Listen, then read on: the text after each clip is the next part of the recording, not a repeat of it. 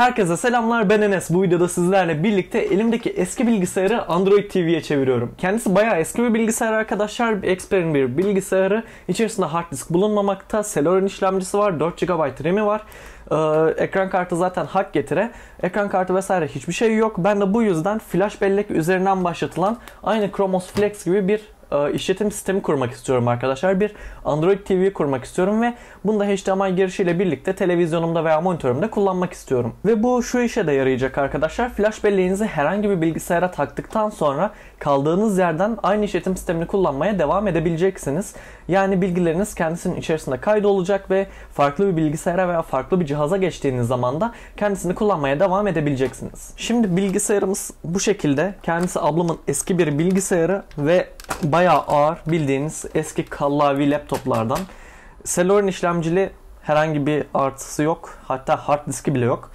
Ee, o yüzden ben de flash bellek üzerinden dediğim gibi az önce kullanılabilen bir Android TV e, cihazına çevirmek istiyorum bunu. Hadi şimdi gelin masaüstü bilgisayarımıza geçelim ve flash belleğimize Android TV ISO'muzu yazdırarak Android TV'mizi kuralım. Şimdi masaüstümüze geldik arkadaşlar. Burada bir adet Android TV 9 yazılı bir zip dosyamız mevcut ve bir adet de ISO'muz mevcut arkadaşlar. Android TV 9 isimli zip dosyamızın içerisinden ISO'muz çıkıyor arkadaşlar ve burada da bir Rufus'umuz mevcut. Rufus'u çalıştırıyoruz arkadaşlar ve ardından buradan flash belleğimizi seçiyoruz. Flash belleğin sizin flash belleğiniz olduğundan emin olun. Yani demek istediğim kendisi biçimlendirileceği için e, farklı bir flash bellek takılıysa yanlışlıkla onu seçmeyin arkadaşlar. Çünkü içerisindeki bilgiler gidecek. Ardından ön yükleme seçiminde buradan ISO'muzu seçiyoruz arkadaşlar. ISO'muzu seçtikten sonra buradan disk bölüm düzeninde MBR veya GPT olarak ayarlayabilirsiniz. Fakat ben MBR olarak, MBR olarak ayarlayacağım. Çünkü bilgisayarım eski olduğu için e, ekstra olarak sadece UEFI'yi destekliyorum arkadaşlar. BIOS ya da UEFI yazıyor burada gördüğünüz üzere. GPT olarak seçtiğimizde de sadece UEFI olarak seçiyor. Ben burada MBR düzenini seçeceğim arkadaşlar. Kendisi eski ama yani bilgisayarım da eski olduğu için uyumlu olacaklar. Diğer türlü işte GPT'yi seçersem eğer bunu e, kendisi algılamayacak ve başlatmayacaktır Android TV'mi. Kendisi e, flash belleğime yazdırılıyor arkadaşlar. Tamamlandığı zaman da tekrardan buradan görüşmek üzere. Buradan Android TV'miz kuruldu fakat yapmamız gereken bir işlem daha var arkadaşlar.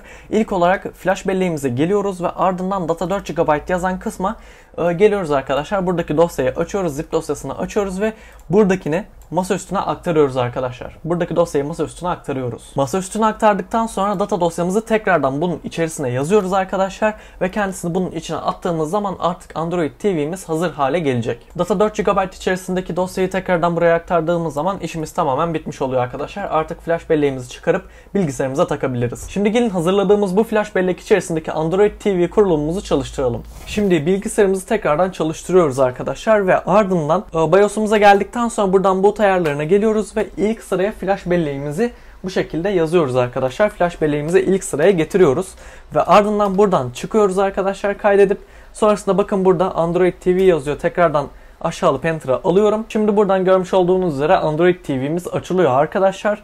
E, kendisini dilerseniz mouse'la kontrol edebiliyorsunuz. Dilerseniz de Trendyol üzerinden e, klavyeli bir şekilde satılan mouse'lar da mevcut arkadaşlar. Yani kendisini uzaktan bluetoothlu veya kablosuz olarak kontrol edebiliyorsunuz. Şimdi Android TV'miz açılıyor arkadaşlar. Görmüş olduğunuz üzere Google yazımız geldi ve kendisinin kurulumuna şimdi başlayacağız. Buradan Türkçe seçeneğimizi seçtikten sonra artık kurulumumuza başlayabiliriz. Ee, hayır, kendisine kurmak istemiyorum. Aynı zamanda buradan da Wi-Fi ağıma bağlansın. Şimdi TV'nizden en iyi şekilde ayarlanın diyor. Buradan oturum açın diyorum arkadaşlar. Devam diyorum. Sonrasında buradan Google hesabımı girmemi isteyecek. Google hesabımı girdikten sonra hizmet şartları ve gizlilik politikasını kabul ediyorum arkadaşlar. Ardından konumu ben kabul etmek istemiyorum. Ardından iyileştirmeye de yardım etmek istemediğimi söylüyorum. Ve buradan sanal asistanımızı da kullanabiliriz arkadaşlar. Ama ben bunu şimdi açmayacağım. Asistanımız hazır. Sonrasında buradan gelip Android TV'yi seçiyorum arkadaşlar. Ve Android TV'ye hoş geldiniz diyor. Burada kurulumları tek tek e, klavye üzerinden yapmak daha kolay oluyor. Ardından tekrardan mouse'unuzla bunu kontrol edebilirsiniz arkadaşlar. Şimdi buradan ufak bir ayar yapacağız. Buradan aşağıya geliyoruz ve cihaz tercihleri diyoruz. Ardından birazcık aşağıya kaydırıyoruz ve sistem diyoruz. Sonrasında buradan USB aksesuarlarına geliyoruz arkadaşlar ve mouse'umuzu seçiyoruz. Buradan da right click to back'i seçiyoruz arkadaşlar. Artık sağ tuşa bastığınız zaman buradan geri gelecektir ve mouse'unuza tamamen rahat bir şekilde bunu kontrol edebilirsiniz. Mesela YouTube üzerinden kendi kanalıma geliyorum arkadaşlar. Sesi oldukça kötü. Hani bunu bir televizyona vesaire bağladığın zaman çok çok daha iyi olacaktır. Veya işte kulaklık veya aynı zamanda şuradan beğenirseniz çok mutlu olurum. Ee, kulaklık veya hoparlör bağlarsanız ses çok çok daha iyi olacaktır. Bir de cihazınıza göre de değişiklik gösterebilir tabii ki.